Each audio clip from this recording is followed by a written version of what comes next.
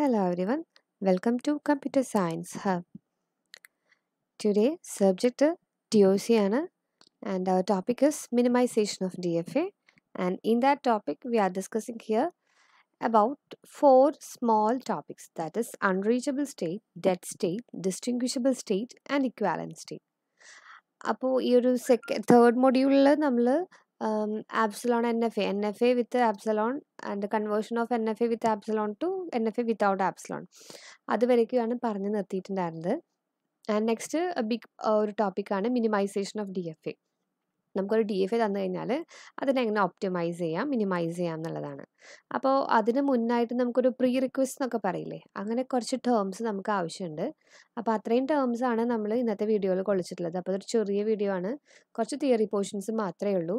And ഇതിന്റെ കൂടെ ശരിക്കും നമുക്ക് മിനിമൈസേഷന്റെ തിയറിയും കൂടെ വേണം. അതായത് സ്റ്റെപ്സ് ഇൻ മിനിമൈസേഷൻ അപ്പം ഞാനത് ഇൻക്ലൂഡ് ചെയ്തിട്ടില്ല. കാരണം ഞാൻ വിചാരിച്ചു മിനിമൈസേഷന്റെ സ്റ്റെപ്പും വിത്ത് എക്സാമ്പിളും ഒരെണ്ണം കൂടിയും അടുത്തതിൽ ചെയ്യാമെന്ന് അപ്പോൾ സ്റ്റെപ്പ് പറയുമ്പോൾ നമുക്ക് അതിന്റെ കൂടെ എക്സാമ്പിളും കൂടെ പറഞ്ഞാലല്ലേ അത് ശരിക്കും അങ്ങോട്ട് മനസ്സിലാവത്തുള്ളൂ. അതുകൊണ്ടാണ്. അപ്പോൾ ഇന്നത്തെ വീഡിയോയിൽ നമ്മൾ അൺറീച്ചബിൾ സ്റ്റേറ്റ് എന്താണ് ഡെഡ് സ്റ്റേറ്റ് എന്താണ് ഡിസ്റ്റിങ്വിഷബിൾ സ്റ്റേറ്റ് എന്താണ് ഇക്വാലൻ സ്റ്റേറ്റ് എന്താണ്. ഇത്രയും കാര്യങ്ങൾ അറിഞ്ഞിരുന്നാലാണ് നമുക്ക് ഡി എഫ് എ മിനിമൈസ് ചെയ്യാൻ പറ്റുള്ളൂ. ഓക്കെ അപ്പോൾ നമുക്ക് സ്റ്റാർട്ട് ചെയ്യാം. So the process of D F A minimisation actually എന്താണ് ഈ പ്രോസസ്സ് എന്ന് വെച്ച് കഴിഞ്ഞാൽ minimization it is a method of detecting those states of a D F A whose presence or absence in DFA does not affect the language or the set of strings accepted by the DFA. Thus, these states can be eliminated or removed from the finite automata without affecting the language accepted by the finite automata.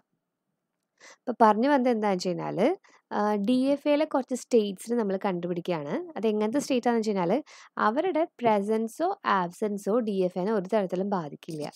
അതായത് അവരവിടെ ഉണ്ടെങ്കിലും ഇല്ലെങ്കിലും D F A accept ചെയ്യുന്ന സ്ട്രിങ്സിനോ അല്ലെങ്കിൽ D F എയുടെ ലാംഗ്വേജിനോ ഒന്നും ഒരു തരത്തിലുള്ള ചേഞ്ചസ് ഉണ്ടാവില്ല. അങ്ങനെയാണെങ്കിൽ അങ്ങനത്തെ സ്റ്റേറ്റ്സ് നമുക്ക് കണ്ടുപിടിച്ചിട്ട് അവരെ നമുക്ക് റിമൂവ് ചെയ്യാം. അങ്ങനെ റിമൂവ് ചെയ്ത് കഴിഞ്ഞാൽ it won't affect the language accepted by the finite automata fine D F A accept ചെയ്യുന്ന ലാംഗ്വേജിനോ അതിന്റെ ഇതിനോ യാതൊരു മാറ്റവും വരില്ല. ആകെപ്പാടെ ഉണ്ടാവുന്നത് സ്ട്രക്ചർ ഒന്ന് മാറും. ഡി എഫ് എ കുറച്ചുകൂടെ ചെറുതാവും. അങ്ങനെ ചെറുതായതുകൊണ്ട് നമുക്ക് ഫസ്റ്റ് ഇതെന്താ പറയുക ഒപ്റ്റിമൈസ്ഡ് ആവുക ചെയ്യുന്നത്. അതുകൊണ്ട് കോംപ്ലിക്കേഷൻസ് കുറഞ്ഞും കിട്ടും. അപ്പം നല്ല നല്ലതാണ്. അപ്പോൾ നമ്മൾ ചെയ്യാൻ പോകുന്നത് നമുക്ക് ആവശ്യമില്ലാത്ത ഒരു യൂസും ഇല്ലാത്ത കുറച്ച് സ്റ്റേറ്റ്സ് ഒക്കെ ഉണ്ടാവും. അങ്ങനത്തെ സ്റ്റേറ്റ്സിനെ കണ്ടുപിടിക്കുക അവരെ റിമൂവ് ചെയ്യുക. അപ്പോൾ കണ്ടുപിടിക്കുമ്പോൾ നോക്കേണ്ടത് എന്താണെന്ന് വെച്ചാൽ ആ സ്റ്റേറ്റ്സ് റിമൂവ് ചെയ്ത് കഴിഞ്ഞാലും ഡി എഫ് ഐ ആക്സെപ്റ്റ് ചെയ്യുന്ന ലാംഗ്വേജിനോ അല്ലെങ്കിൽ ഡി എഫ് ഐ ആക്സെപ്റ്റ് ചെയ്യുന്ന സ്ട്രിങ്സിനോ ഒന്നും ഒരു മാറ്റം സംഭവിക്കാൻ പാടില്ല. അപ്പോൾ ഈ അൺയൂസബിൾ ആയിട്ടുള്ള സ്റ്റേറ്റ്സ് ഒക്കെ മാറ്റി കളയുമ്പോൾ തന്നെ ഒന്നും സംഭവിക്കില്ല. പക്ഷെ നമ്മൾ മാറ്റുമ്പോൾ സൂക്ഷിക്കണം. അതെങ്ങനെയൊക്കെയാണ് ഏതൊക്കെ സ്റ്റേറ്റ്സ് ആണ് നമുക്ക് കളയാൻ പറ്റുക ആൻഡ് എന്താണ് അതിന്റെ പ്രോസസ്സ് എന്നൊക്കെയാണ് ഈ ഒരു ടോപ്പിക്കിൽ നമ്മൾ പഠിക്കുന്നത് കേട്ടോ.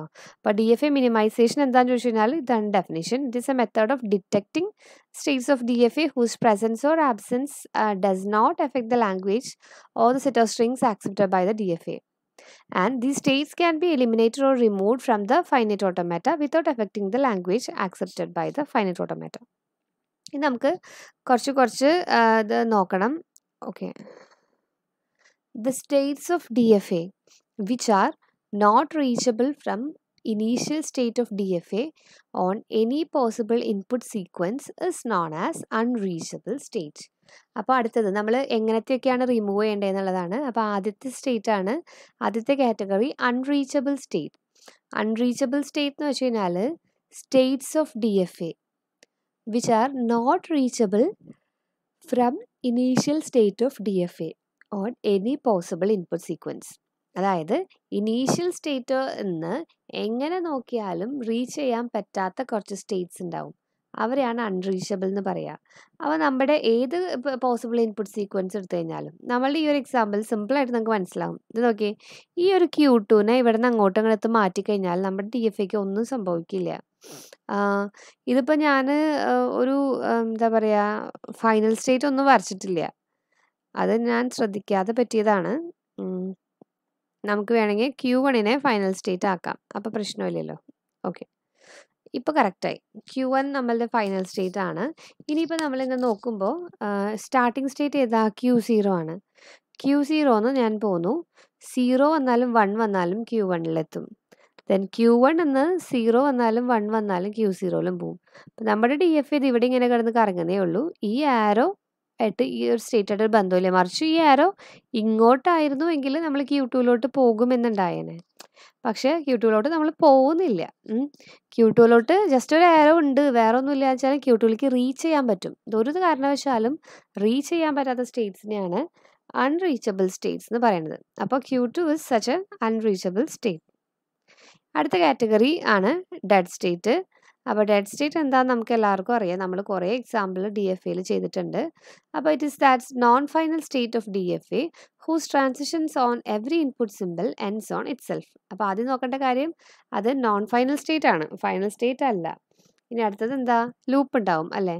അതായത് എല്ലാ input സിമ്പിളിന്റെ every transition on every input symbol ends on the same state അപ്പോൾ ഇവിടെ നോക്കുമ്പോൾ നോക്കി ക്യൂ സീറോന്ന് സീറോ വരുമ്പോൾ ക്യൂ വണ്ണിൽ പോയി ആൻഡ് ക്യൂ വൺ ഒരു ഫൈനൽ സ്റ്റേറ്റ് ആണ്. ദെൻ വൺ വരുമ്പോൾ ക്യൂ ടുവിൽ പോയി. Q two non final state ആണ് ആൻഡ് ആ ക്യൂ ടുവിൽ തന്നെയാണ് ലൂപ്പ് അതായത് ക്യൂ ടുവിൽ നമ്മൾ എത്തിപ്പെട്ട് കഴിഞ്ഞാൽ അവിടെ നമ്മൾ ട്രാപ്ഡ് ആണ്. പിന്നെ അങ്ങോട്ട് സീറോ വന്നാലും വൺ വന്നു കഴിഞ്ഞാലും നമ്മൾ ക്യൂ ടുവിന്റെ അകത്ത് തന്നെ ഉണ്ടാവുള്ളൂ. വേറൊരു പ്രോഗ്രസ് ഉണ്ടാവില്ല.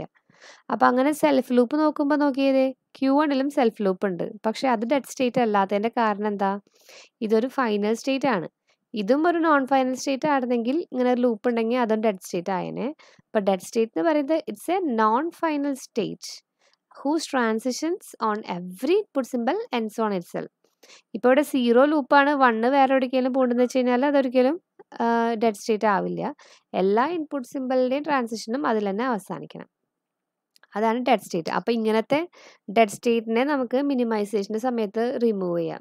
നമുക്കൊരു ഡി എഫ് എയുടെ കറക്റ്റ് റൂളൊക്കെ പ്രകാരം നമ്മൾ വരയ്ക്കുമ്പോഴാണ് ഡെഡ് സ്റ്റേറ്റ് ഒക്കെ കറക്റ്റായിട്ട് വരിക ഡി എഫ് എ മിനിമൈസേഷനിൽ നമുക്ക് അൺറീച്ചബിൾ സ്റ്റേറ്റ് റിമൂവ് ചെയ്യാം. അതുപോലെ ഡെഡ് സ്റ്റേറ്റിനെ റിമൂവ് ചെയ്യാം. അടുത്തത് നമുക്ക് നോക്കാനുള്ളത് എന്താണെന്ന് വെച്ച് കഴിഞ്ഞാൽ ഇക്വാ രണ്ട് സ്റ്റേറ്റ് എപ്പോഴാണ് ഇക്വാലന്റ് ആവുക ഈക്വൽ ആവുക എന്ന് പറയണത് രണ്ട് സ്റ്റേറ്റ് വെച്ച് കഴിഞ്ഞാൽ if if two states P and Q are said to be equivalent if this P and Q can be replaced by a single state they are called as equivalence state when two distinct state P and Q can be replaced by a single state they are called as equivalence state P and ക്യൂവിനെ നമുക്കൊരു single state വെച്ച് replace ചെയ്യാൻ പറ്റുന്ന വെച്ച് കഴിഞ്ഞാൽ അത് equivalence state ആണ്. ഇനി P and Q are equivalent for all input string if P ends in an accepting state if and only if Q ends in an accepting state P and Q equivalent ആവാൻ വേറെയും ഒരു condition ഉണ്ട്. അതായത് ഇത് രണ്ടും P ഒരു particular ഇൻപുട്ടിൽ ഒരു ആക്സെപ്റ്റിംഗ് സ്റ്റേറ്റിൽ പോയി. അതായത് പി എ എന്ന് പറഞ്ഞ ഇൻപുട്ട് വരുമ്പോൾ ഒരു ആക്സെപ്റ്റൻസ് സ്റ്റേറ്റിലേക്ക് പോയി. അങ്ങനെയാണെങ്കിൽ ക്യൂവും എ എന്ന് പറഞ്ഞ ഇൻപുട്ടിൽ ഒരു ആക്സെപ്റ്റൻസ് സ്റ്റേറ്റിലോട്ട് തന്നെ പോകണം അങ്ങനെയാണെങ്കിൽ മാത്രമാണ് പി ആൻഡ് ക്യൂ ഇക്വാലന്റ് ആവുള്ളൂ. അതായത് പി എന്ന് പറഞ്ഞ ഒരു സ്റ്റേറ്റ് ഉണ്ട് ആൻഡ് അത് എ എന്ന് പറഞ്ഞ ഇൻപുട്ട് വരുമ്പോൾ ഒരു ആക്സെപ്റ്റൻസ് സ്റ്റേറ്റിലോട്ട് ഡബിൾ ആരോ ഉള്ള ഒരു സ്റ്റേറ്റിലോട്ട് പോയി കഴിഞ്ഞാൽ അതേപോലെ തന്നെ വേണം ക്യൂവും എ എന്ന് പറഞ്ഞ ഇൻപുട്ട് വരുമ്പോൾ ഒരു ആക്സെപ്റ്റൻസ് സ്റ്റേറ്റിലേക്ക് തന്നെ പോകണം അങ്ങനെ പോയാൽ മാത്രമാണ് സെയിം ആക്സെപ്റ്റൻസ് സ്റ്റേറ്റിലേക്ക് തന്നെ ആവണമെന്നൊന്നുമില്ല. ആക്സെപ്റ്റൻസ് സ്റ്റേറ്റിലേക്ക് പോയാൽ മതി. അപ്പോൾ അങ്ങനെ ആയാലാണ് പി എം ക്യൂയും ഇക്വാലന്റ് ആവുള്ളൂ. നമുക്കിത് എക്സാമ്പിളിന്റെ സമയത്ത് കുറച്ചും കൂടി പറയാം കേട്ടോ. അടുത്തത് ഡിസ്റ്റിങ്ക്വിഷബിൾ അതായത് രണ്ട് സ്റ്റേറ്റ് ഇക്വാലന്റ് അല്ലാന്നുണ്ടെങ്കിൽ അവർ ഡിസ്റ്റിങ്ക്വിഷബിൾ ആയിരിക്കും. ഇക്വാലന്റ് അല്ലാത്ത സ്റ്റേറ്റ്സിനെ ഡിസ്റ്റിങ്ക്വിഷബിൾ എന്ന് പറയും. ഇപ്പോൾ ഡിസ്റ്റിങ്ക്വിഷബിൾ കറക്റ്റായിട്ട് നമുക്ക് പറയാന്ന് വെച്ചാൽ ഒരു ആക്സെപ്റ്റിംഗ് സ്റ്റേറ്റും ഒരു നോൺ ആക്സെപ്റ്റിംഗ് സ്റ്റേറ്റും അവരൊരിക്കലും ഇക്വാലന്റ് ആവില്ല. അപ്പോൾ അതെന്തായാലും ഡിസ്റ്റിങ്ക്വിഷബിൾ ആണ്. If P is an accepting state Q is a non accepting state then P and Q are distinguishable ഒരു ആക്സെപ്റ്റ് ചെയ്യുന്ന സ്റ്റേറ്റും ഒരു നോൺ ആക്സെപ്റ്റിംഗ് സ്റ്റേറ്റും എന്തായാലും ഡിസ്റ്റിങ്ക്വിഷബിൾ ആയിരിക്കും. അപ്പോൾ ഇത്രയാണ് നമുക്ക് തിയറി പോർഷൻ പറയാനുള്ളത് കേട്ടോ അപ്പോൾ നമ്മൾ എന്തൊക്കെ പറഞ്ഞു? എന്താണ് മിനിമൈസേഷൻ എന്ന് പറഞ്ഞു. അതുപോലെ different types of the states unreachable state dead state distinguishable state equivalence state. അപ്പോൾ ഈ ഡെഫിനേഷൻസ് ഒക്കെ നമ്മൾ പഠിച്ചു വെക്കണം. നെക്സ്റ്റ് വീഡിയോയിൽ നമ്മൾ ഈ മിനിമൈസേഷന്റെ സ്റ്റെപ്പും എക്സാമ്പിളും ഡിസ്കസ് ചെയ്യുന്നതായിരിക്കും. ഓക്കെ?